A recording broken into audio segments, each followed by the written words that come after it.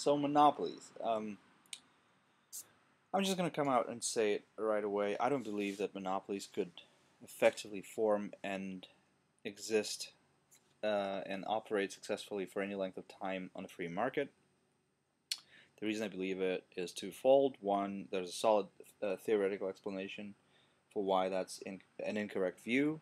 And second of all, there's plenty of historical evidence to support the premise. So let's start with theory. So the, the story goes like this. On a free market, a company could um, capture enough market share to drive out competitors and drive out competitors and then uh, it would just have its way with the consumer, meaning it would raise prices and cut production. And the consumers would suffer. So, um, okay, why would it have to cut production, not just raise prices? Well, because the consumer, you know, if you, if you, if you look at like demand and supply uh, curves, if you want to get technical about it, um, you know, if if the consumers en masse were willing to spend more money on a particular good than they're spending right now, then uh, without creating a monopoly, the producer could just raise the price, and he would, you know, the, uh, that that price would still not result in falling total revenue.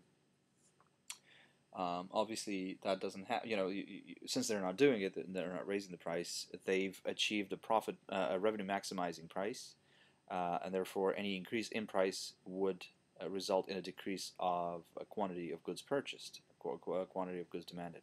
So the dream of a monopolist, according to anti-market people, is to drive out all competitors, and then once they have established a monopolistic position, just raise the price and cut production, have people buy less with more uh, and pay more for it, and uh, the consumers would obviously suffer. Okay, well, uh, I think in order to in order to prove that uh, free market is conducive to monopolies, you have to show, uh, well, basically you have to prove your case, right? You have to uh, illustrate, you have to, you have to demonstrate um, that this situation for a monopolist would be uh, stable and sustainable. Um, there's a lot of problems with this with this simple position. I, I think it basically on its face, it's it's implausible. Uh, the, the most important thing is this. Um, what would prevent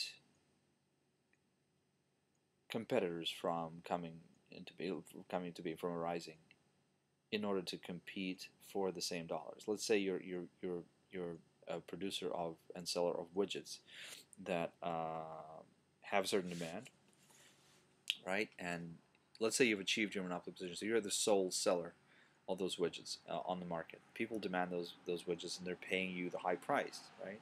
Well, high price with the lower production means that your profits are going up, right? Your profit per item produced is now higher because you're, you're producing less of them but selling them at a higher price point. So your profits are, you know, generally will, will tend to be higher, and that's the whole point of being a monopolist because you can command, uh, you you can realize higher profits. Well, what's to stop another firm from forming and uh, entering the market and selling the same, producing and selling the same product. Let's say their cost of production are you know similar to yours. If they offer the product at a lower price point, they can take away your entire market. What's to stop them from doing that? And he, I think I'm giving away my case right away uh, because the, the, you know in reality, monopolists have only existed with the support of the government because the government is the only entity that can just prohibit competition. I you know every single businessman would love to prohibit competition, only they can't. Okay, like in the free market, nobody's going to be angels. You know, people are not going to be angels. People are still going to be greedy and bad sometimes. But the thing about the market and the free competition, as long as it's free entry, like if if if I'm producing uh, some kind of product or service, I want to charge as much as I possibly can. Okay, I'm going to work as little as I can and get as as much money as I can for my work. Okay, preferably do no work whatsoever and get loads and loads and loads of money. Well, good luck, right? If you can convince people to give you money for nothing, that's great for you, I guess. But uh, most people will fail if they attempt something like that. So you have to offer people something that they want, something that they will willingly part with the money to give to you in exchange for that product. Um, unless, of course, you force them, like you put a gun to their head. Well, you know, that's a whole other story. Uh, but coercive monopolies in a free market is a very, very implausible idea. But the real monopolies have existed with the support of the coercive power of government. The government would just forcibly prohibit competition and restrict entry into entry into the marketplace, thereby creating a space for a monopoly to develop. But let's look at the free market monopoly, so quote unquote. Well, first of all, there's you know monopoly is a very emotionally charged term. People hear the word monopoly and they go, "Oh, monopoly bad." Ooh, they feel uneasy about monopolies. Again, I'm referring to a conversation I had with my brother-in-law uh, earlier today. Well, it's yesterday because it's, uh, it's what it's two o'clock in the morning. It's two o'clock in the morning. Jesus. Anyway, um, yeah, so he was talking like he was talking to his friend at work who's sort of you know curious about libertarianism but unsure, and he like has a lot of problems. Like, what about monopolies? And like, okay, what about monopolies? Like, why don't you ask him what about monopolies? What exactly is bad about monopoly? Well, we just explained it. The, the, the bad thing about monopoly is that monopolies can raise price and cut production, have people pay more for less, and therefore suffer. Uh, okay, fine. How would that monopolist accomplish that? How would he get them to pay more for less? And physically, you know, how's it going to happen? And give me an example of a, of a free market monopoly that did that.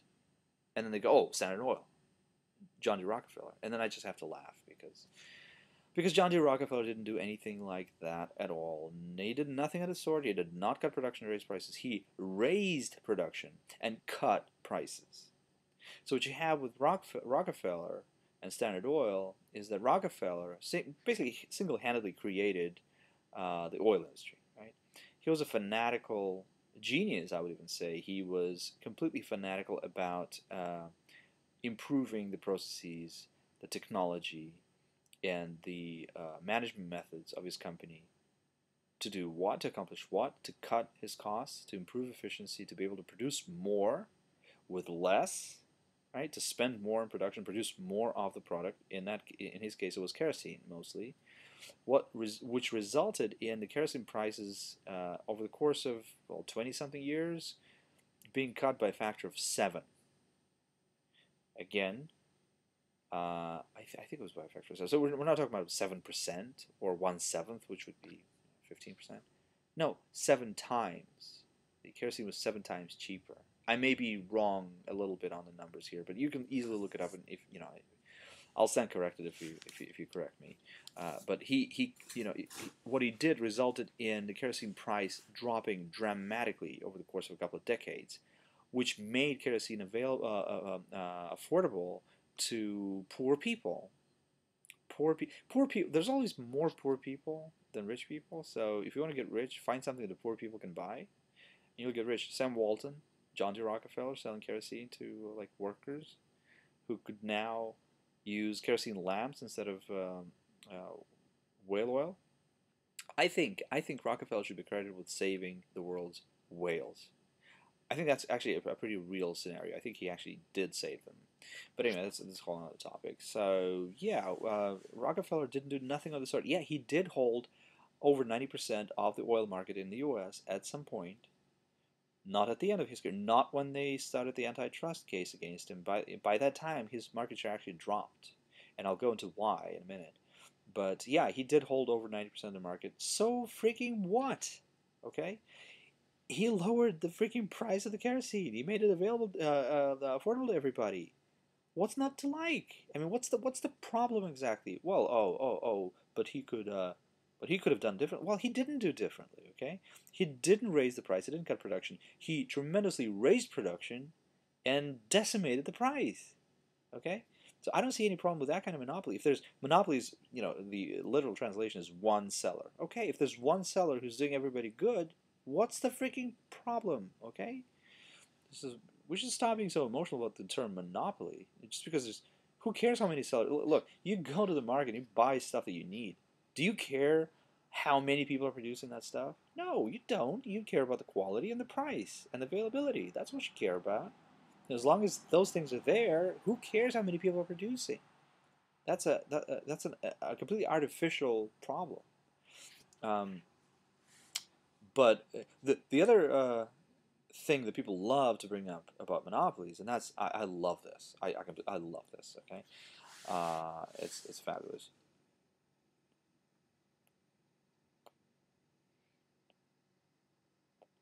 Back after a short break. Yeah, so the other thing is um, that was brought up uh, frequently when people are talking about monopolies is oh, there's predatory pricing. Predatory pricing is supposed to be this method uh, by which uh, monopolists can establish their monopolies. What what they're supposedly able to do is they could cut the price of their product so low, right, so as to be selling at a loss thereby driving everybody out of business. Why can they do that? Well, because they're big and they have like huge stockpiles of cash or something. They can afford to lose money on some of their sales. So that's what they would do. Um, and they so they'll, they'll, do that. They'll drop the price uh, to a point where it's they're actually losing money on every sale, and their competitors just have to shut down. They just have to shut down. And once the competitors are gone, they raise the price through the roof and enjoy their monopoly privilege. Well, okay. Who says that the, the competitors have to shut down for good? Who says that the competitors have to liquidate? Let's say you're an oil company and you're competing, you're a big oil company and you're competing against like a bunch of small oil companies. And yeah, let's say you drop the price of oil uh, below, let's say below your cost of production. So you're losing money on every sale of oil and your competitors, if they want to compete with you, they can't sell at a price higher than yours, because who, you know that doesn't make any sense. People will not buy from them; they will keep buy from, buying from you at a low price, at which you're losing money, right? But who says that they have to shut down forever? Why can't they just shut down for a while? Maybe let go some of their workers, maybe all of their workers, and wait you out. Okay, um, I think that's as plausible as anything. Also, if you're if you're selling a commodity on the market at this uh, low price, what's to stop them from starting to buy those that commodity from you at that low price? What's to stop? And they can just start stockpiling it, and they're not only waiting you out, they're benefiting from your loss. Okay, they're actually directly benefiting from the the uh, very tactic that's supposed to ruin them. Um, so they could just let go some of their workers and use the money to, I don't know, build or buy or lease uh, like warehousing facilities to store your product. They just keep buying from you and buying from you and buying from you. And they can pull resources together to do that if they don't have enough of a stockpile of cash on their own or something. They can pull their resources and just keep buying and buying and bleeding you dry. and, and, and mind you, you're losing money on every sale, and there's no guarantee that you're going to recoup that by extra high profits later because those guys are not going anywhere. Like that would be the stupidest thing ever if anybody uh, uh, attempted to do that. In fact, there's at least one example that I know of where people did attempt to do that, and that's a story I'm going to link to in the description about the uh, Dow Chemical, how they were competing. They were producing bromine, uh, a chemical used in the development of, of film, uh, with a German concern that was trying to undercut them. And German concern was trying to, to stop them from competing uh, against them, stop Dow from competing against them in, in some markets. And they, th- um, if my recollection is correct, they threatened to dump their product on the U.S. market at such a low price that Dow would have to go out of business. Dow said, uh, "You can try," and they did. And Dow started buying up their product. And they saw that pretty quickly, and they stopped and said, "Look, look, okay, we, we take it back. We don't want to fight we don't want a war. Let's just say, why don't you why don't you just you know stay out of a couple of our markets, and outside of that, you can you can do whatever you please. And Dow said, sure. so uh, that's just a stupid, stupid, stupid idea. It needs to be exposed. Every time you hear it, you have to expose it. Like uh, economically, it doesn't make any sense. Any sense. Nobody ever succeeded um, in, in, in, in driving out their competitors by doing that. Okay, so that falls apart. So I think uh, we are able to show pretty successfully that on a free market, as long as there's unrestricted entry into the market, there's no way monopoly can remain a monopoly. And by the way, why did uh, Rockefeller's market share decline? Uh, my understanding is that Rockefeller's company got so big that their efficiencies, uh, uh, like the bigness, the return on the bigness, uh, we're dealing with the diminishing return on the bigness, right? you are losing you're beginning to lose efficiencies after a certain point yeah you know you, are you're, you're integrating uh, maybe very successfully you're vertically integrating your your your, your company. But after a certain point um, think about it as a variant of Ludwig von Mises's calculation argument right? The the argument goes like this. A socialist economy in absence of a market on capital goods and means of production is unable to rationally allocate resources because there's no way to calculate either what to produce, whether that's going to be profitable or not, or how to produce. Once you, you, you, you know, even if you decide what to produce, how to produce it, what methods to use, what technology to use, what materials to use, what machines to use, what processes to use. There's no way to rationally decide these things in the absence of a, a system of prices for means of production. And by definition, in a socialist economy, the means of production are owned by one entity, the state, and therefore the state is going to be allocating those resources irrationally which is exactly why, if you look at my USSR videos, which is exactly why the Soviet economy was unable to produce, you know, anything beyond abject poverty uh, for its uh, consumers, for its society.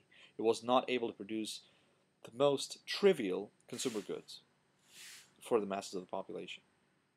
It was not capable of rationally allocating resources and producing what you know things that would meet consumer demands and consumer wishes.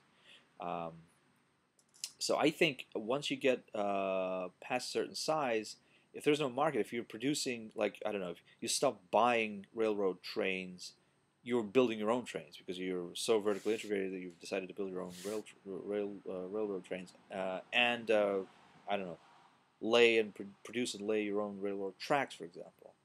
Well, how do you know that you're doing those things efficiently? What you're producing is not in the market. You're not selling it. You're just consuming it directly, right? Those capital goods are not uh, subjected to the market check. So you may well be producing those things inside your hugely integrated structure. You could, you may well be producing those things, those things inefficiently, and you wouldn't even know it because they are not in the market. You're shield, you're, you're uh, insulated from the market by this huge integration, and therefore you start losing efficiencies. And and lo and behold, your product becomes uncompetitive or less competitive over time. And that's why I think Rockefeller Rockefeller's market share declined. By the time they launched the uh, um, Antitrust Act attack on him, uh, his market share was way, way below the high point of 90 plus percent.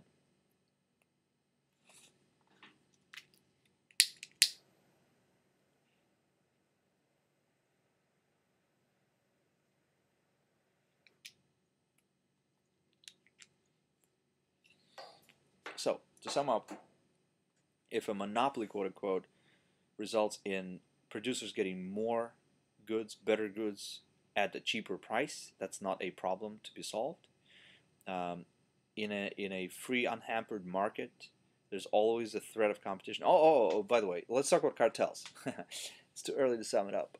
Cartels. Cartels is when uh, a cartel is when several firms in the industry collude they agree to cut prices, production and raise prices together. So you don't have to be one firm to do that. You can be several firms in an agreement, acting in, a, in, in an agreement to try and achieve the same goal. Well, in again in, in the free market, cartels have been attempted many, many times, and they failed very quickly every single time they were tried. For several reasons. One, there's always the threat of external competition, always. Okay. Let's say you were successful in reaching an agreement with all the major players in your industry producing the type of product that you're selling, right? Let's say you were successful in reaching an agreement with them. Even if there is no there is no competitor right now fighting against you in the marketplace, who says that there won't be one tomorrow? You know, capital markets are a wonderful thing. People can pool resources. You know, every you know, a single person can become a capitalist, as in use some of their savings to invest in capital equipment by buying shares of companies or buying bonds from companies or whatever, uh, lending their savings to a, a, a, production of capital goods in order to enter a market as a new company. If you don't, so you don't have to be a millionaire to start a business. You can raise money in the capital markets. Um, if, if I see an industry that enjoys huge profit levels, right, by producing a good and selling it at, at, a, at a steep, you know, a very high price. What's to stop me from forming a company? If I know what I'm doing, I can run my calculations and realize that, oh, you know, these guys are enjoying like a 50% profit rate. I would be happy with 25% profit rate. So if I do enter the market and sell at a lower price point that would ensure uh, a 25% profit rate for me, I would take away all of their customers and leave them in dust. Just completely kill them, destroy them. Okay, What's to stop me from doing that? Nothing. Again, in absence of government that could forcibly stop me from doing that, which obviously happened a million times. So cartels have been tried in various industries, uh, but there's always, there was always this threat of competition. Um, uh, one of the first cartels, I think, was in packaged biscuits. There was another cartel in sugar refineries. There were always, though, competitors coming in from the outside, setting up competing firms, and just beating the crap out of the cartels. And the cartels would just give up eventually. Say, you know, we can't. They, they, they were not achieving their goals. They were not achieving this, you know, enjoyable position of being able to produce less and charge more and make more money and higher profits. Uh, those competitors would, would destroy that idea completely, and uh, those cartels eventually gave up and uh, disbanded, and just returned to just free market competition. Um, well, you may have a cartel that is being protected by the government from the new entrants, as was the case with the railroad cartels. Well, there's another factor at play there, in, um, and that is the fact that the members of the cartel themselves are always incentivized to break the cartel, to cheat. Let's say you know you have four companies in the room. They shake hands and say, "Okay, we're cutting production by 25% and raising the price by 35% tomorrow. Yay, hallelujah!" Everybody's happy. Everybody goes home, and everybody on their way home thinking, "Okay, I'll wait for these sectors to cut production and raise prices, and then I lower I'll lower my price a little bit against theirs and raise production and take away all all of their customers. Those cartels have always been also betrayed from within. Okay, there's always this temptation, and it never fails to work. So cartels again been attempted, tried many times, always failed for those two reasons: competition uh, present or potential. Um, and also the incentive to break the cartel from within by, by the cartel members. Um, so yeah, to sum up now, I think we can sum up now. Uh, cartels don't work, monopolies don't work as long as it's free entry. The only thing to stop uh, uh, the free entry is the government interference. Therefore, the monopolies that do exist, uh, it's very easy to see to trace the roots of that bad situation for the consumer, where they they're they're they're having to pay more for less, essentially to government, to the to the use of government force, and uh, you know, just because there's very few producers or one producer, does not necessarily mean that there's a problem. If it doesn't result in you know the cut in production and, and the raise in prices, it's not a problem, even though it is technically a monopoly because there's one seller.